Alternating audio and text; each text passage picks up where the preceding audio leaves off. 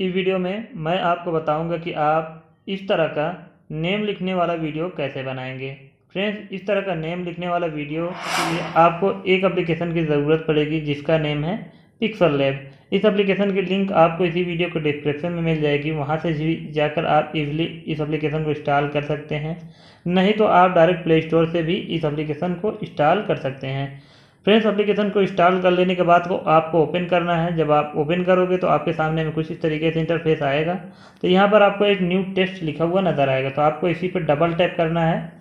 और जैसे ही आप डबल टैप करोगे तो कुछ इस तरीके से ये ओपन हो जाएगा। उसके बाद यहाँ पर आप अपना नेम दे दीजिए। और यहाँ पे आपको जो नेम देना है वो स्मॉल लेटर में नहीं देना है। तो यहाँ पे आप अपना नेम दे दीजिए। तो फ्रेंड्स यहाँ पे मैं नेम दे देता हूँ। जैसे कि यहाँ पे मैं टाइप कर देता हूँ योर नेम उसके बाद यहाँ डन पे क्लिक करेंगे, उसके बाद यहाँ पर ओके पे क्लिक कर देंगे। तो यहाँ पे आप देख सकते हैं नेम आ चुका है। फ्रेंड्स, नेम आ जाने के बाद फ्रेंड्स, उसके बाद यहाँ पर एक आपको एक एक लिखा हुआ आपका नज़र आएगा तो इस पर क्लिक करेंगे। और इस पर क्लिक कर लेने के बाद थोड़ा सा नीचे स्क्रॉल करेंगे तो फ्रेंड्स, यहाँ पे आपको एक ऑप्शन नज़र आएगा, ए बी का। तो फाउंड का ऑप्शन है ये। और यहाँ पे क्लिक करेंगे फॉन्ट वाले पे और उसके बाद यहाँ से आप अपना फॉन्ट ले सकते हैं। फ्रेंड्स अगर आपको अपना खुद का एक फॉन्ट ऐड करना है, जैसे कि यहाँ पे देख सकते हैं माई फॉन्ट का एक ऑप्शन नज़र आ रहा है तो यहाँ पे मैं खुद इस पिक्सल लैब में कुछ फॉन्ट्स ऐड किया हूँ तो आप भी ऐड कर सकते हैं। इस फॉन्ट को कैसे ऐड करते हैं, उसके लिए ये वाली वीडियो देखिए। ये वीडियो की लिंक आपको वीडियो की लास्ट में मिल जाएगी, वहाँ से जाकर आप इजली देख सकते हैं और इस, अपना खुद का फॉन्ट्स ऐड कर सकते हैं। तो फ्रेंड्स यहाँ पर देख सकते हैं। यहाँ पर मैं फॉन्ट्स ऐड किया हूँ बारह तेरह फाउंड है। तो यहाँ पर आप आप इजली माई फॉन्ट में अपना फॉन्ट्स ऐड कर सकते हैं। तो फ्रेंड्स यहाँ पर मैं ये नीचे वाला फॉन्ट्स ले लेता हूँ। उसके बाद यहाँ पर ओके कर दूँगा। तो यहाँ पे ओके कर दूँगा तो यहाँ पे देख सकते हैं ये फॉन्ट्स का आ चुका है। और उसके बाद फ्रेंड्स यहाँ पर मैं थोड़ा सा और जाऊँगा। यहाँ पे कलर पहले सिलेक्ट कर लूँगा। यहाँ पर नीचे में ऊपर थोड़ा सा आके यहाँ पे कलर का ऑप्शन है तो यहाँ पे मैं अपना कलर ले लूँगा। तो यहाँ पर देख सकते हैं ब्लैक है वाइट है। तो मैं अभी फ़िलहाल के लिए वाइट ही रहने देता हूँ। तो यहाँ पर आप अपना कोई भी कलर ले सकते हैं। उसके बाद यहाँ पर क्लिक कर देंगे राइट पे। और उसके बाद फ्रेंड्स यहाँ पर और नीचे जाएँगे थोड़ा सा। और यहाँ पर हम नीचे जाएँगे अगर आपको यहाँ पे स्पेस में थोड़ा सा कुछ कम नज़र आए तो यहाँ पे स्पेस को थोड़ा बढ़ा लेंगे कुछ इस तरह से। तो यहाँ पे और उसके बाद कुछ इस तरीके से सेट कर लेंगे। यहाँ पे अगर आपको बाहर जा रहा है जैसे साइड से, इसको थोड़ा सा छोटा कर लेंगे। और उसके बाद यहाँ पर सेट कर लेंगे। उसके बाद यहाँ पर क्लिक कर देंगे फ्रेंड्स। अगर आपको स्पेस में लगता है कम है, तब करना, नहीं तो रहने देना। और उसके बाद फ्रेंड्स यहाँ पर एक लास्ट में ऑप्शन नज़र आ रहा है, यहाँ पर इस पर क्लिक करेंगे। और उसके बाद फ्रेंड्स यहाँ पे कलर पे जाएँगे और यहाँ पे हम ब्लैक कलर ले लेंगे। पहले यहाँ पे कलर पे सिलेक्ट करेंगे। और उसके बाद यहाँ पे ब्लैक कलर लेंगे। उसके बाद यहाँ पे राइट क्लिक कर देंगे। और फ्रेंड्स राइट क्लिक कर देने के बाद फ्रेंड्स आपको फिर यहीं पे आ जाना है। इस पर क्लिक करना है ए वाले पे। और उसके बाद यहाँ पर आपको स्क्रॉल करके नीचे जाना है। आपको एक ऑप्शन नज़र आएगा। सैडो का तो यहाँ पे सैडो पर क्लिक करना है उसके बाद यहाँ पे इसको इनेबल कर देना है और इसको जो ब्लर रेडियस है आपको इसको इंक्रीज कर देना है।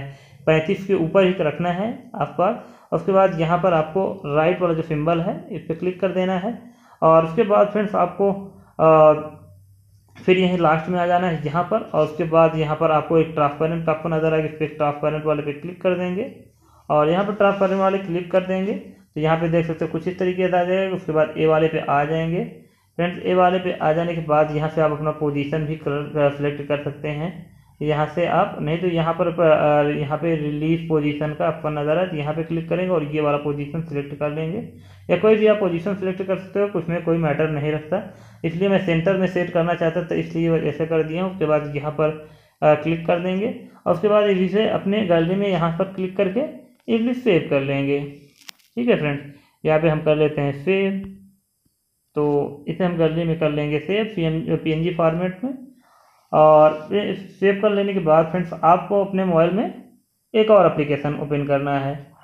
इसके बाद आपको अपने मोबाइल में काइन मास्टर एप्लीकेशन को ओपन करना है।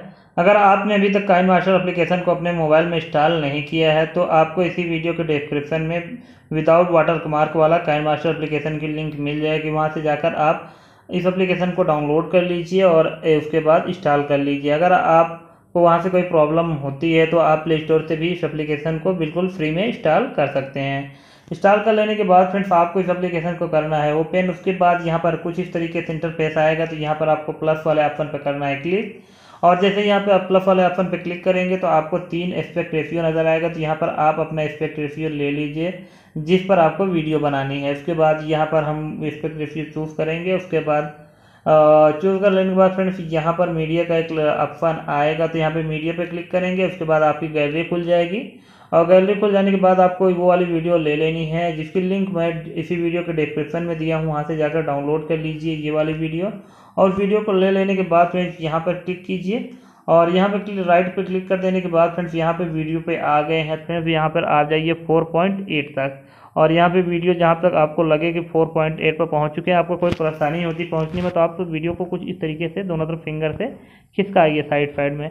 ये स्ट्रेच हो जाएगी, जिससे आपको एडिट करने में बहुत ज़्यादा आसानी हो जाएगी। उसके बाद यहाँ पर फोर पॉइंट एट से आगे जाइए, जैसे फोर पॉइंट नाइन तक नाइन तक जाइए तो यहाँ पर आ जाएँगे। यहाँ तक फ्रेंड्स और यहाँ पर आ जाने के बाद आपको लेयर पर क्लिक करना है उसके बाद आपने जो पिक्सल लैब से इमेज बनाया है मीडिया में जाकर आपको उस इमेज को ले लेना है। तो फ्रेंड्स यहाँ पे उस इमेज को हम ले लेंगे। और यहाँ पर उस इमेज को ले लेने के बाद फ्रेंड्स आपको इमेज वाले लेयर पे आपको क्लिक करना है। और उसके बाद इसको जितना ज़्यादा जूम हो सके, उतना ज़्यादा जूम कर लीजिए। और इमेज वाले लेयर पे क्लिक कर लेने के बाद आपको यहाँ पे एक एनिमेशन की का ऑप्शन नज़र आएगा। इस पर क्लिक करेंगे। और उसके बाद इस इमेज को हम इस कुछ इस तरीके से छोटा कर लेंगे और यहाँ पर करेंगे यहाँ पर ले जाएँगे यहाँ पर ले लेने के बाद फ्रेंड्स यहाँ पर थोड़ा सा आगे जाएँगे। अब फ्रेंड्स यहाँ पर अब मुझे लग रहा है कि अब इसे थोड़ा सा अब ये आ जाना चाहिए। तो फ्रेंड्स यहाँ तक आएँगे उसके बाद इसको हम इमेज वाला जो इमेज है इसको कुछ इस तरह से बड़ा करेंगे और इसको ला के बिल्कुल सेंटर में हम रख देंगे यहाँ पर। और उसके बाद यहाँ पर राइट क्लिक कर देंगे। और फ्रेंड्स यहाँ पर देख सकते हैं ये वीडियो लगभग कंप्लीट बन चुकी है। तो फ्रेंड्स, चलिए वीडियो को थोड़ा सा प्ले करके मैं आपको दिखा देता हूँ। तो फ्रेंड्स, यहाँ पर मैं वॉल्यूम थोड़ा सा कम कर लूँ ताकि आपको वॉइस ना जाए। तो फ्रेंड्स, यहाँ पे साउंड ऑलरेडी इसमें ऐड है। तो फ्रेंड्स, यहाँ पे वीडियो को प्ले करता हूँ। तो यहाँ पे देख सकते हो, ये वीडियो प्ले हो चुकी है और यहाँ पर हम देख सकते हो कितना अच्छा इफ़ेक्ट आ रहा है। तो फ्रेंड्स इस तरीके से आप ये वाला वीडियो बना सकते हो। फ्रेंड्स उम्मीद करता हूँ ये वीडियो आपको पसंद आया होगा। फ्रेंड्स अगर ये वीडियो आपको पसंद आया तो वीडियो को लाइक करें ज़रूर करें।